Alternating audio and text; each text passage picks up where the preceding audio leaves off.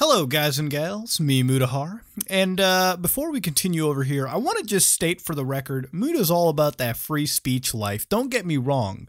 Uh, when it comes to a private company, for instance, like Valve or like YouTube, Google, whatever you want to call it, uh, that isn't really something that people have to respect. You know, if you find your company is violating that, then feel free to boycott it on your own personal content. Muta's also not a land of the PC heavy individuals. I'm not I'm not a fucking politically correct individual like that either. I think I think that evident fact has been raised quite a few times. But that being said, ladies and gentlemen, I got a story of infinite crack rock wisdom to fucking guide you with because I, I don't know why, but but Valve let this one slip. So for those of you who've been a little bit out of the loop, who haven't been focusing on the PC gaming side of things, it's all fine. Uh, Steam, which is uh, Valve's content delivery platform where we buy a lot of our favorite PC games, yeah, that fucking content delivery platform let a game called Rape Day fucking show up on its charts. Now, I don't have to be sitting here and telling you that, hey, I'm all for I'm all for freedom of speech over there. I'm I'm down. If you if you want to buy a game like that, that's all up to you. I might find a little weird, but hey, man, as long as you're not actually hurting anybody, by all means, dude, go go download all the weird shit you want. But uh, Muta's not uh, against the idea of common sense. If you're a fucking company that runs one of the biggest online game stores in the world, you probably shouldn't have a game where the principal gameplay fucking element, or not principal gameplay element, but one of the elements is actual uh, a raping that's going on. Um, you know, I play tons of games that are very crime oriented. I don't think a single one of them has the ability for me to fucking forcibly insert my PP into a lot of things. I don't, I don't think that has that ability, but I might be wrong. I don't know. I only play like, uh, you know, how many fucking games every time they come out, right? But anyways, let's go on with this fucking beautiful subject. Anyways, they allow this fucking game to come on, and this game isn't anything special. First of all, the game in question over here that's that's been in this uh, hot topic issue has a uh, has absolutely no merits to it in my opinion. It's one of these visual novel games which Steam has bundled with with a dime a dozen. It's set in a zombie apocalypse, you know, rape day, I guess, a fucking zombie apocalypse, and uh, you play as a sociopath psychopath that could, in fact, sexually assault only female characters by the way. So you can't even you can't even bang dudes if you wanted to. I don't know why that's not allowed. It's 2019 of all things. We should be we should be accepting of everything going on. Don't don't know why we're not why that's not even a bigger issue if you ask me personally. But anyways this game gets kicked off steam and rightfully so. I don't see any merits to it at all. It's one of these asset flip visual novel games, and you know, it's not even one of the decent visual novel games like Cyberpunk Valhalla Bartending Waifu. Like that, that that's a good time. All right, that's a really good time. Danganronpa is a great vi- vi- visual novel, dude. Fuck even that bird dating game Hatoful Boyfriend is a fucking decent time and a half. This one was a game that was literally engineered for the purpose of being edgy. That was it. There was no other merit to it other than that. If you ask me, that's my personal opinion. If you if you think it's game of the fucking year, well, well, guess what? It's game of the fucking year for you then, buddy. Congratulations. But Muta, Muta's got to speak his mind on what he thinks is true to him. Anyways, though, looking further into this, guys, ladies and gentlemen, it's finally off Steam. Valve, Valve responded, and I guess they're looking into their shit right now. And this leads me into the biggest thing that I think a lot of PC gamers, I mean, I've been talking about it for fucking years at this point, is uh, Valve. You need to step your shit up a fair bit. Now, if you look at one of the best gaming companies in the world, in my opinion, one of them at some point in time was actually Valve. They made some really good games. Uh, nobody's going to take that away from them. They made some really cool gaming technologies. I still pull up the original Source engine showcase and was blown away to this day by some of the stuff they engineered back then. Half Life 2 might not be my favorite game ever. In fact, it's nowhere close to one of my favorite games ever, but I had a decent time playing it, and I was blown away when it came out. It looked really fucking cool. Uh, Half Life 1, fucking great PC game. You know, Counter Strike.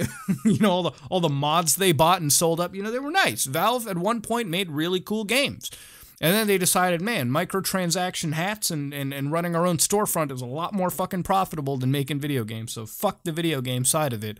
But when we make video games, we'll make monetized friendly video games. So anyways, going off on a tangent, Valve has the store, right? Steam. The problem with Steam is back in the day, it used to have some form of fucking curation added to it. Like when I used to use Steam back in like the 2012s, like 2013 days, Steam was pretty solid. Like you were buying games that were well curated, put on the store. That it was a professional fucking storefront. And then they added Steam Greenlight, which was a cool concept, you know, adding indie games that people could vote on and then we would buy them. That was nice. And then the floodgates opened and we got all the industry cottage fuck the cottage industry of terrible terrible Unity asset flips and fucking bargain bin games that were just added to the storefront. And if you go on Steam right now, you can find a fucking billion of these existing out on the marketplace. Like it's it's terribly bad. You know, uh, Jim Sterling had like his whole video series. I think that guy even got I think Jim got sued over fucking ripping on some of these uh, terrible, shitty developers.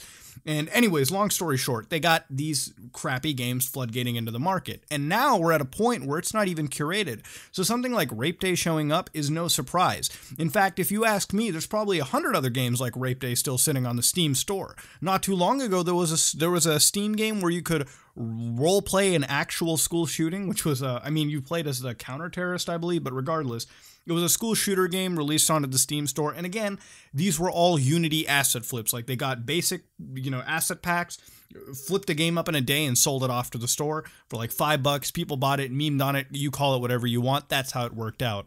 So yeah, this game comes out with this obvious obvious troll baiting fucking shit. I mean, let's be real here. This game was literally created to cost some fucking drama, not because it was made by, you know, a super passionate developer who was willing to give you a really gritty look of a, of a zombie apocalypse.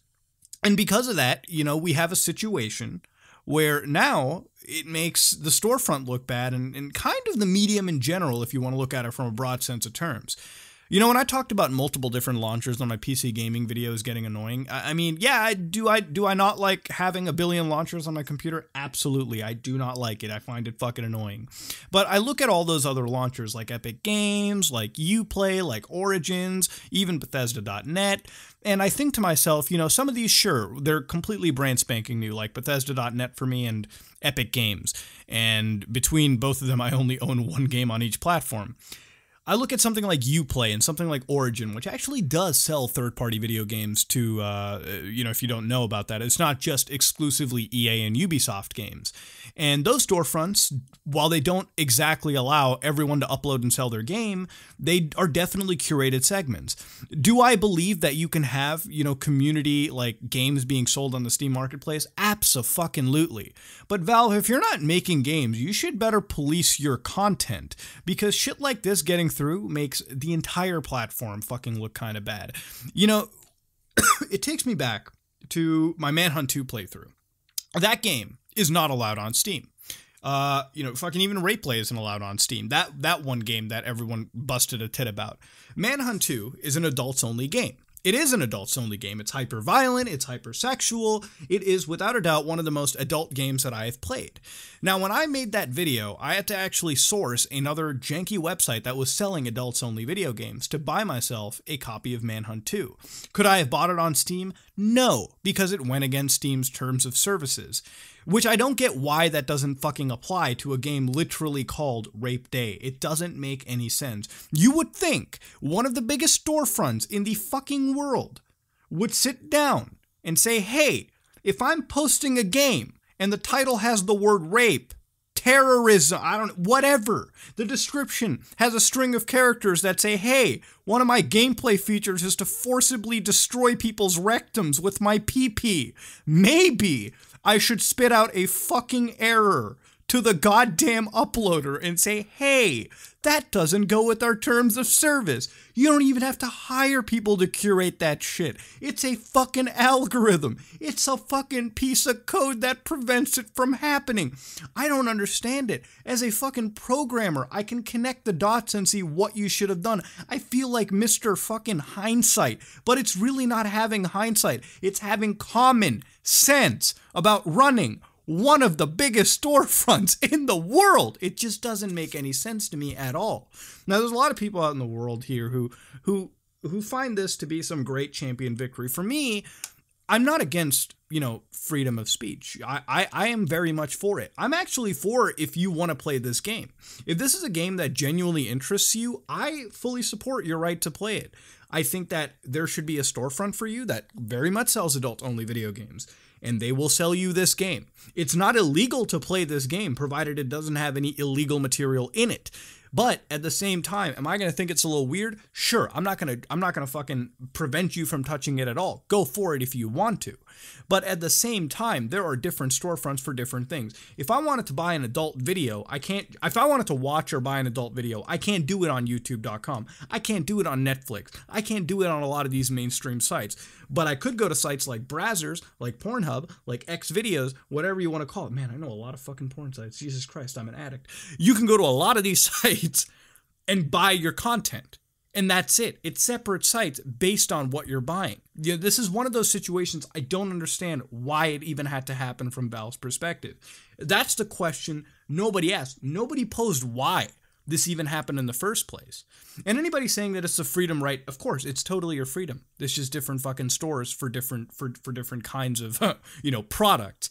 Then again, you know, at the end of the day, I have my own thoughts. I think a little differently sometimes. I'm a little weird. I'm a little off my fucking medicine. But that's just kind of the stuff that I'm thinking should have happened with this game. But it didn't.